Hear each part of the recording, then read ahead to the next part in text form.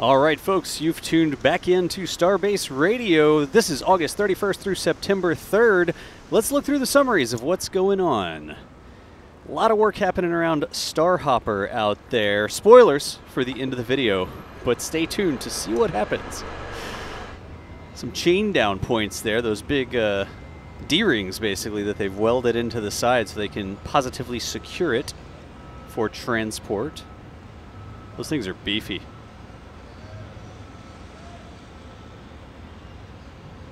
It's actually where you're going to end up chaining Jack to it if they ever take a cutting torch anywhere near it. There's the old quick disconnect.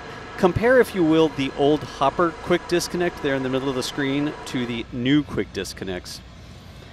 Here are the steel Newtons, the crush cores, the catch pads. There's probably 50 awesome names that y'all came up with in the last video, but uh, installation work continues over there on the chopsticks on Tower 1. As you can see, chopstick work continues. The chopsticks are the new OLM.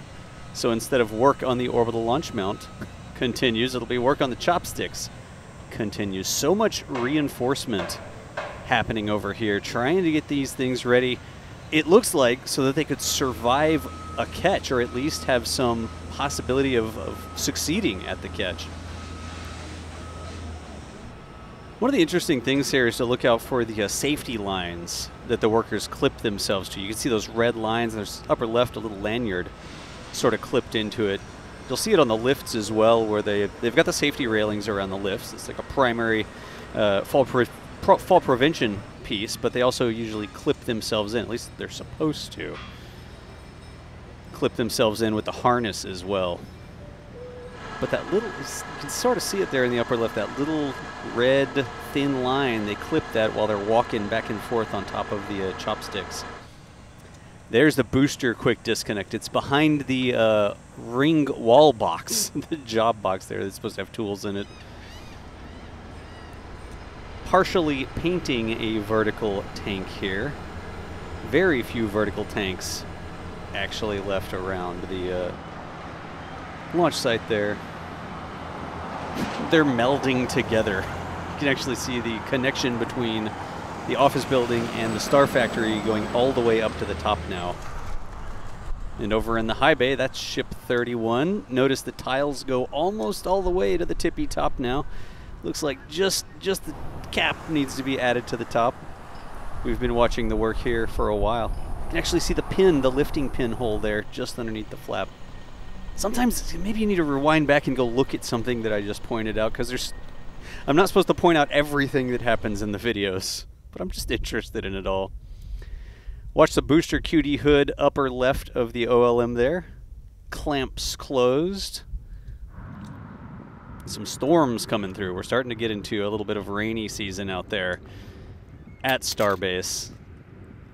Sometimes slows down our own ability to work on our sites and cameras. More tile work there at floor 21 on the scaffolding.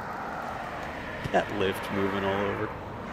I want to do a whole video on the lifts. I want to go to a place that trains people to use those lifts, and I want to be like, what's this button for?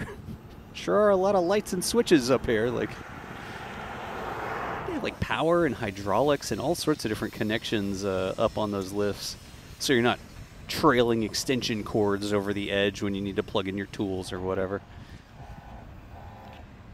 I actually just want to ride a lift up and down. I want to learn how to safely operate a lift. Can I say it that way?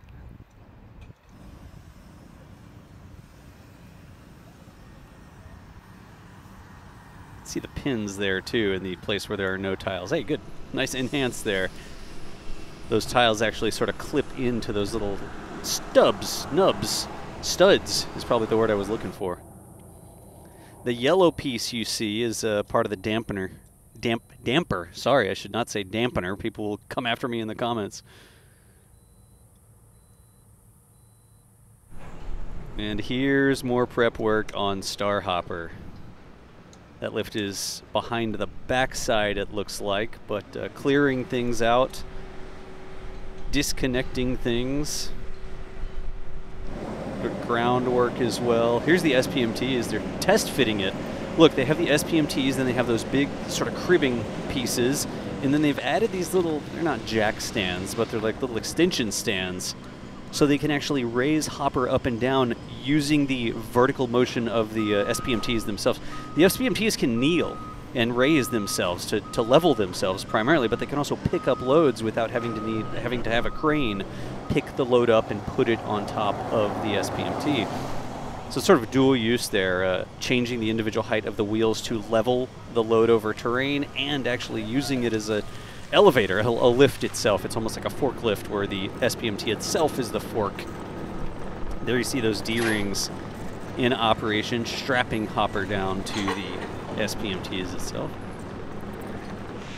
Huge thing with the SPMT transport is uh, center of mass.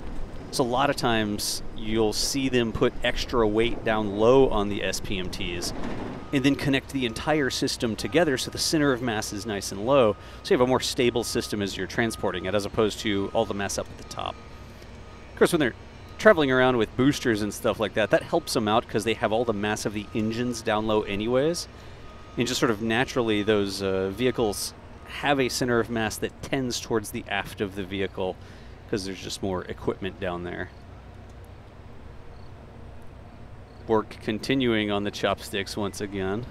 That's really coming together nice. Look at all the uh, shiny catch plates there. Steel New I think Steel Newtons was the one I liked the best.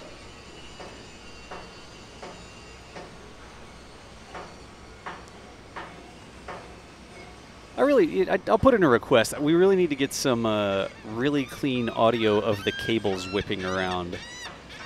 I'm really surprised the cables that lift the chopsticks up and down are still in working order because they're constantly twang isn't really the right word, but every time I see them moving, I can hear that noise in my head don't know if we have clean audio of that somewhere to, to show to y'all in a future one and just really point out, hey, that noise you hear, that's the cables actually flapping together.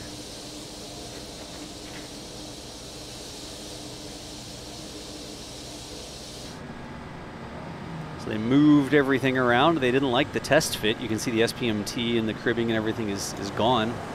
And they brought in the excavator to try and, uh, I'm going to say level out the ground. They're not really digging Starhopper out, right? They're sort of trying to level the ground here so that the, the SPMT can lift it up and move it out unassisted. Because yes, the SPMTs can kneel. It's sort of like a kneeling bus. Have you ever walked up to board a bus and the bus goes shh, and the whole bus sort of kneels down, and then you get on it and the bus lifts back up again, then starts driving the SPMTs do the same thing. They can kneel down to get under a load, and they can lift up to lift the load off the ground. Another fantastic uh, overcast shot there from Mary. We we call this the reflecting pool. That's what we say. Oh, yeah, put the camera by the reflecting pool. Back to another shot of ship 31. There you can see, see the hole right under the flap? That's where the pins go in to stabilize it when they're lifting that thing up. I guess the stabilizers are lower, but those are the main lifting pins just under those forward flaps. Really curious that the line, the tileless line there that they're sort of working on. it. I think that's for expansion, where they still have some connections there in the background and they're not quite done with that. I don't know. Y'all let me know. Aha! What's going on here? Kite cam? How are we doing this? What magic? Certainly we're way too low to be in a plane. The interesting comment here is that the TFR that prevents drone flight does not extend all the way between Starbase and Massey's, like between the production site, launch site, and Massey's. There's a big hole in the TFR there. And our property that we own there near, we call it River, it's near the river there, um, is actually just outside of the TFR. So Jack rolled out See the Rio Grande on the right-hand side there. And got some aerial shots of the, I'll say shopping center, the sort of development project that they were working on that seemed to be paused a little bit. This doesn't get quite the breakneck speed that the uh, launch infrastructure or factory infrastructure gets, but uh, Jack flying the drone outside the TFR there to get those cool shots of what's going on. Here you can see the SPMTs are back underneath Starhopper. They scraped that ground, leveled that ground a little bit, put the cribbing back on, those big those Lincoln log looking things. There you just saw the SPMT kneel down a little bit. Watch, there it went again. And then you saw it level too, right? End to end, it leveled itself. These things are just so cool. It's such a cool idea, like technology applied to become a useful machine that we use for things. I probably don't need to repeat that work continues on the chopsticks here. It's Just ants crawling around on the ant mound that is supposed to take us into outer space. I guess technically catch stuff when it comes back from sending other stuff to outer space. But whatever. I digress. Those big Franken stick reinforcements there. They really must have got some test data that said, I don't know if these chopsticks are going to live through a catch. Because they have made an awful lot of uh, changes to them here. Back over to the carriage, shot from Mary. It's just work just happening everywhere. It's not like, oh yeah, we just have to reinforce these joints and we're done. It's not a full redesign, but it's almost like a chopstick version 2, maybe really version 1.5, because they haven't. Uh, they're trying to fix the existing design that's already exists in the real world, right? By adding all of these reinforcements and new bits and bobs to it. That close up of that booster quick disconnect. And there's Starhopper being shuffled around. Remember, go back and hop between the two points in the video. Look at the Star Hopper disconnect. It's right there on the lower left hand side of, of Hopper. And then go back and hop to the video where we just looked at the booster disconnect and look at the difference between the two. But here we go. Hopper getting picked up. All sorts of activity. Coming out onto the entrance. Got the cones there to keep cars from parking there and make the turning job more difficult. Here comes the SPMT Ballet. In the rain, no less. You can see it was actively raining out there while this was happening. Hopper strapped down, lots of cribbing in there, the stands. Of course, this time lapsed a little bit, so it looks like it's wobbling a little bit more. You don't really see that wobble in real life. But just watch those, watch the wheels of the SPMT. Such coordination that allows these things to be. I'm going to use the term ridiculously.